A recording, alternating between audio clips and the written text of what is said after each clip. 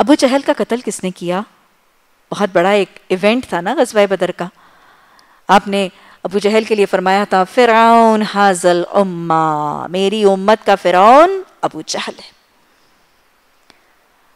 फिरौन हाजल उम्मा को कत्ल और ठिकाने किसने लगाया? अरे, वही दो जो पलट गए थे, पलटा दिए गए थे, वापस बुला लिए गए थे। अब शदीद रंज और कलक है। हमें वहाँ करने नहीं दिया गया जो हम करना चाहते थे। फस्ता पे कुल खैरात टीनेजर्स में नज़र आता है।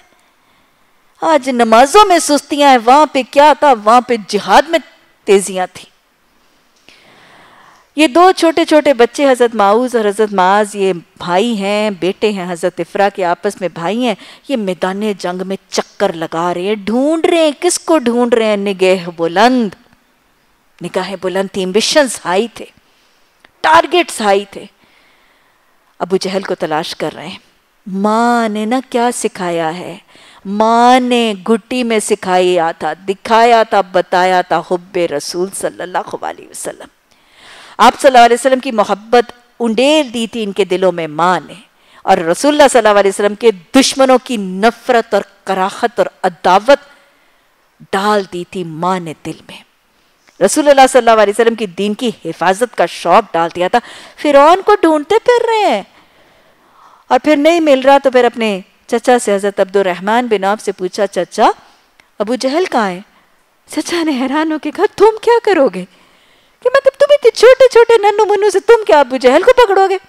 तो कहने लगे, मचल गए, मचलते भी पता नहीं किस बात पर थे कि बच्चे, बच्चों के मचलने के पैमाने भी फ़र्क है। आज बच्चे पता नहीं किन किन चीज़ों पर मचलते हैं। एक्सबॉक्स के लिए मचलते हैं आईपैड्स के लिए मचलते हैं एलईडीज बेडरूम में लगा दीजिए, इसलिए मचलते हैं। अच्छा खैर आईफोन्स के लिए मचलते हैं लेटेस्ट मॉडल की चीज़ों के लिए मचलते हैं। मचल रहे हैं, अबू जहल का पता बता दो। खैर, अबू जहल की निशानदेही कर दी हज़रत अब्दुलरहमान बिन नौफ ने, क्या हुआ? सिर्फ़ मचल नहीं रहे थे, सिर्फ़ निगाह बुलंद नहीं थी, इरादे भी बड़े पक्के थे, जाके ले पड़ गए। वो घोड़े पर है। टांगों के साथ लिपट गए। छोटे छोटे ना कहीं पहुँच तो सकते नहीं है। अबू जहल की टांगों के साथ लिपट गया और उसको खींचने लगे। और एक ने क्या किया? एक टांगों के साथ चिपट गया, एक पाँव के साथ चिमट गया और दूसरे ने ना टांग के ऊपर तलवार लगाई। वो जख्मी होके खींच के नीचे गिराने में कामयाब हो गए दोनों भाई। ये यूथ है, ये टीनेजर्स हैं। करने को कोई भी निकलता है तो जब इरादा कर लेता है। तो ढूँढने वालों को तो अल्लाह दुनिया भी नहीं दे दिया करता है। करने वालों से अल्लाह इतने तो बड़े काम करा लिया करता है। और हमारी क्लास के कुछ लोग कहते हैं, आपने हमें कुरान सिखा के बहुत बड़ी ज़िम्मेदारी दे दी। इतनी बड़ी ज़िम्मेदारी अगर उठाने वाले कर सकते हैं तो क्या मैं और आप नहीं कर सकते?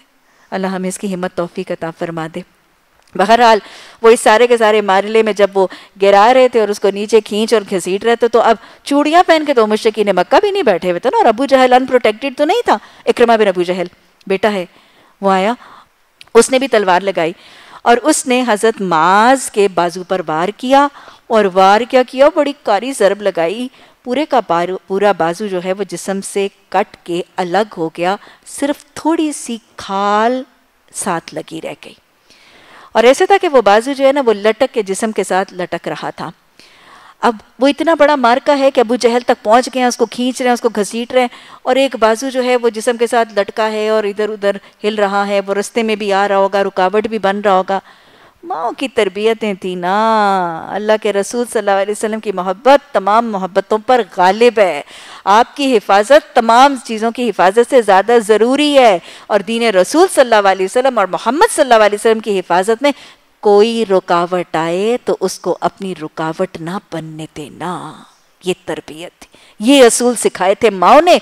अब रुकावट कौन सी चीज़ बन रही है? हज़रत माज के अपने जिसम का उस अपनी बाजू रुकावट बन रही है। हिफाजत रसूल सल्लल्लाहु अलैहि वसल्लम के दीन की हिफाजत में आपके दुश्मन की हलाकत में रुकावट बन रही है अपने जिसम का बाजू। कभी इधर आ रहा है, कभी उधर आ रहा है। तलवार जनी हो नहीं रही ठीक। क्या किया? पाओ के नीचे हाथ को रखा और बाजू को खींच के उखाड़ के फेंक दिया। जुर्रत, सबर इस्तकामत। ये नहीं कहा कि मेरी बाजू लटकी मैंने बहुत कुछ कर लिया और मैं अम्मा के पास भागता हुआ जाऊँ।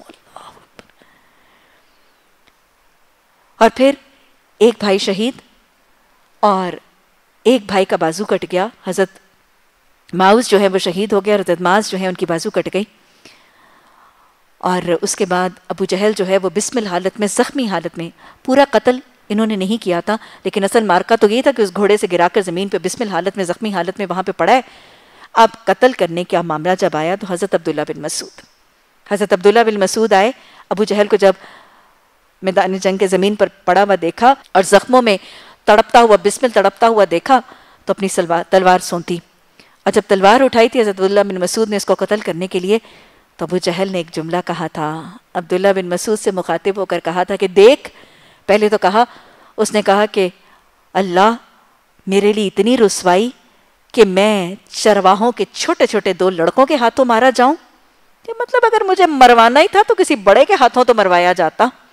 कि मेरी जिल्लत हुई कि दो छोटे छोटे लड़कों के हाथों में मर, मरवाया गया हूँ और मैं गिराया गया हूँ। एक तो ये मेरी जिल्लत तकबर है ना? मरता भी तो किसी बड़े के हाथ ही मरता ना? कोई नाम तो होता। और फिर कहने लगा हज़रत अब्दुल्ला बिन मसूद को मुखातिब होकर कहने लगा कि देख तो मेरी गर्दन तो काटने लगा है, लेकिन जब मेरा सर काटे, मेरी गर्दन काटे तो ज़रा नीचे से काटना। ताकि जब लोग मेरा सर देखे तो ये कहें, सरदार कुरैश की गर्दन बहुत लंबी थी। ये वो तकबर था जो मरते वक्त, वो कहते ना किसी किसी शख्स की गर्दन में बहुत सरिया या स्टिफ नेक और स्टिफ कॉलर के वो तकबर ये मरते दम तक क्या नहीं गया था तकबर मरते वक्त भी था। कि लोग कहें कि सरदार कुरैश की गर्दन बहुत लंबी थी। और याद रखिएगा, ये अबू जहल इसको जाहिलों का बाप कहा जाता है, ये अनपढ़ नहीं था। ये अनपढ़ नहीं था। मक्का के बड़े, थोड़े, पढ़े लिखे लोगों की फहरिस्त में इसका नाम आता था। जो मक्का के पढ़े लिखे स्कॉलर्स थे ना, टॉप ऑफ़ द लिस्ट इसका नाम आता था। अबू जाहिल था। अबू जहल इसको कहा गया था, जाहिलों का बाप ईमान से महरूम रहा है। अब समझ आया कि ईमान से फिर महरूम कौन रहता है? ईमान से महरूमी की वजह इसकी तकबर थी। इसका तकबर इसकी ईमान की महरूमी का ज़रिया बन गया। मैं आपको बहुत दफ़ा समझाती हूँ इनकार हक की वजूहत और उसमें एक बड़ी वजह। शैतान ने भी, शैतान की भी इनकार हक की वजह क्या थी? ईमान में इनकार ने रुकावट क्या थी? अबा वस्तक बरा तकबर वो चीज़ है जो ईमान और अतात में डांट बन जाता है। ये वो तकबर ही था। इतना इल्म, एजुकेशन, नॉलेज होने के बावजूद, और ये ये वो अबू जैल आपको पता है ना, मैंने उस दिन भी आपको बताया था कि जब आप सल्लल्लाहु अलैहि वसल्लम, आप जब वापस आए थे शब मराज से और आप बाहर निकले थे अपने घर से, और उम्मे हानी ने मना किया था कि किसी को ना बताइएगा तो सबसे पहले आमना सामना किससे हुआ था? सबसे पहले शब मराज शब मराज की जो हकीकत है, वो सबसे पहले वो सच्चाई किस तक पहुँची थी? अबू जहल तक। वो शख्स जिसने आपका इतना बड़ा मुशाहिदा सुनने वाला अव्वल शख्स था, हिमान से महरूम रहा था। क्यों? तकबर वजह थी। समझ में आया? क्या निकालना है? आज अमली तरीका क्या है? दुआओं का तरीका सीखा? और अगर हम चाहते हैं कि हम ईमान और अतात में पुख्ता पा हो जाएँ तो अपने दिलों से, अपनी ज़िंदगी और अपने रवैयों से हर किस्म के तकबर को खुर्च के निकाल दीजिए।